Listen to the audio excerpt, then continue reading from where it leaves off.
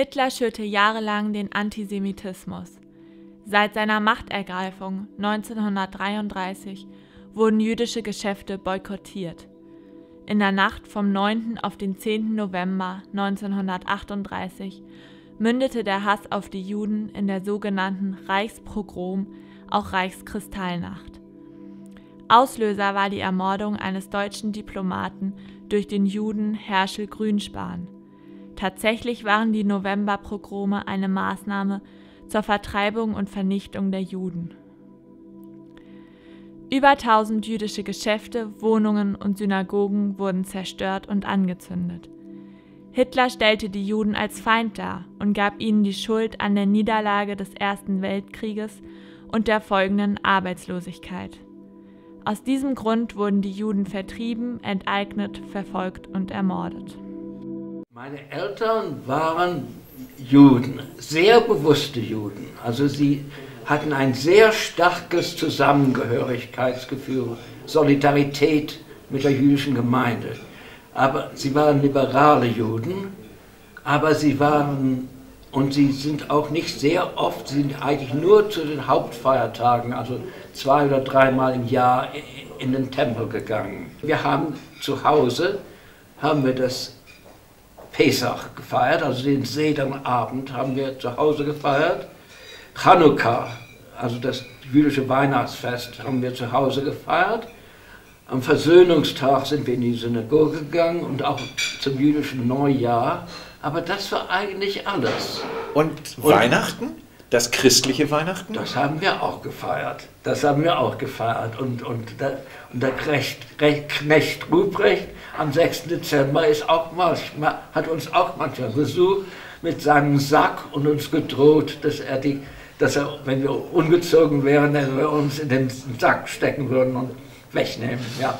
In meiner Schule, da waren ja eben in meiner Klasse zum Beispiel waren drei jüdische Mitschülerinnen und die hatten keine Religion mit, sondern hatten dann eine Freistunde.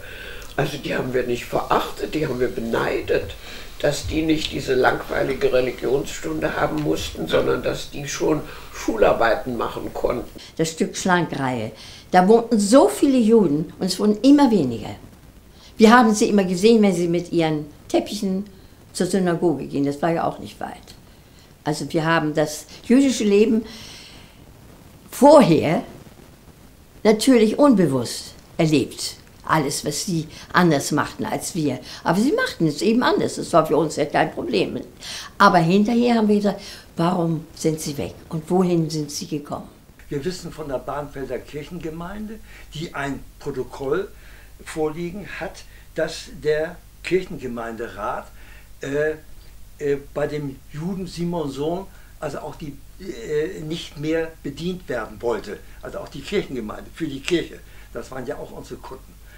Er war ja ein, wie man sagt, ein geradezu überassimilierter Jude, der Deutscher sein wollte als Deutsch, der, wie Tucholsky sagen würde, am liebsten rechts von sich selbst gestanden hätte. Nicht? Äh, er gehörte also zu, zu, dieser Kategorie, der natürlich auch meinen Kampf nicht gelesen hatte, ich damals natürlich auch noch nicht, und äh, das alles unterschätzt hat. Also äh, entscheidend muss ich sagen, wenn ich das die ganze Geschichte der Juden verfolge oder wie man die Juden immer weiter in die Enge drängte. Das war zwar so ein bisschen ein Auslöser, dass die Nazis also anfingen an einem ganz bestimmten Tag, ganz bestimmten Abend, ich weiß den Tag heute nicht mehr, anfingen die Geschäfte in der Innenstadt, überhaupt in Hamburg, da wo Juden waren, zu beschmieren mit, den, mit der Schrift Jude und dann die Scheiben einschlugen. Das war die sogenannte Pogromnacht oder Reichskristallnacht die haben wir erlebt. Da sind wir Jungs gewesen, so waren wir schon 17, 18 sowas, sind wir in die Stadt zum großen Bursch dahin marschiert, wollten in der Innenstadt ein bisschen mal erleben, wie das so vor sich geht.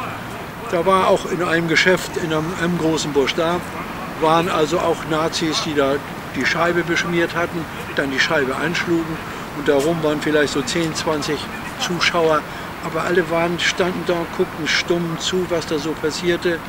Und wenn ich noch so recht erinnere, ich war mit einem Freund da, auch wir guckten da so hin. Tja, es rührte sich gar nicht. Die SA, hey, pöbeln da rum. Und dann stand da auch daneben ein Schutzmann, Polizist. Ich habe den angeguckt.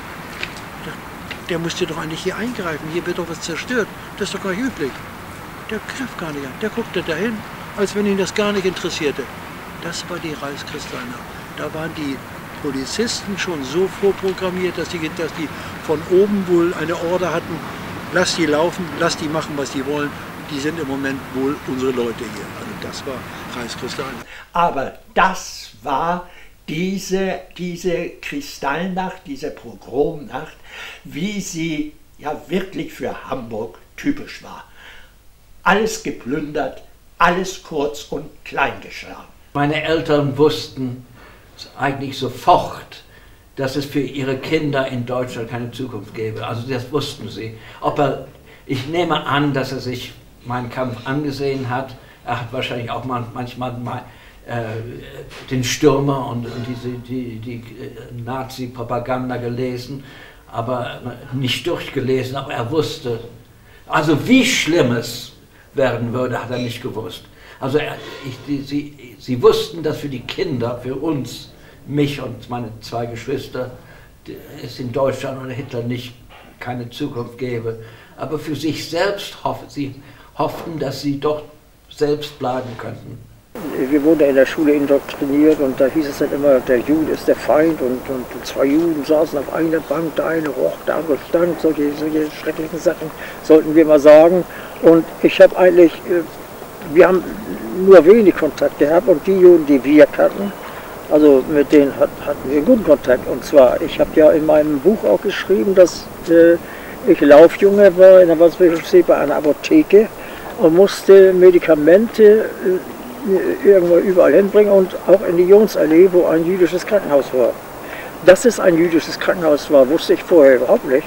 Nur als ich dann eines Tages kam, waren die ganzen Ärzte und Schwestern, alles adrette, nette, freundliche Leute, hatten alle Judenstern und da habe ich, hab ich fürchterlich einen Riss gekriegt, denn ich persönlich wollte ja, wollte ja Hitler treu sein und Hitler irgendwie alle anderen auch. Und da habe ich den ersten Riss gekriegt, da habe ich gesagt, das kann ich ja nicht. Juden unter Unglück und, und, und Viehzeug und sowas alles. Und diese netten, freundlichen Leute, die uns auch immer an der Rezeption mir immer Bonbons gegeben haben und so, das können keine Untermenschen sein. 1941 wurde der Judenstern eingeführt. Äh, da musste er noch gearbeitet haben. Und der kam, da war ich also zehn Jahre alt, kam von der Arbeit nach Hause mit, seinem, mit seiner Aktentasche und hielt die Aktentasche, den Judenstern, verdeckt. Das war ja nun auch nicht richtig. Und ich stehe auf der anderen Straßenseite und sehe das und sehe den Mann. Und äh, in dem Moment habe ich gedacht, also das ist ja ein Erwachsener und Erwachsene muss man mit Respekt behandeln. Das war mir ja eingebläut worden. Aber bei dem kann ich mir ja was erlauben. Und dann habe ich einen Spottvers rübergerufen.